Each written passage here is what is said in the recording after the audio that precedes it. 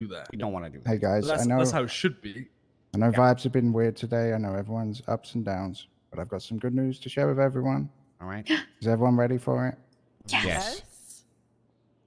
Roosters Rest owns Gentry Manor. Boom. Now you got to get the paper. Just got to get the paperwork done to get the mayor to fucking evict all that shit out of there from the real estate business, and we are golden.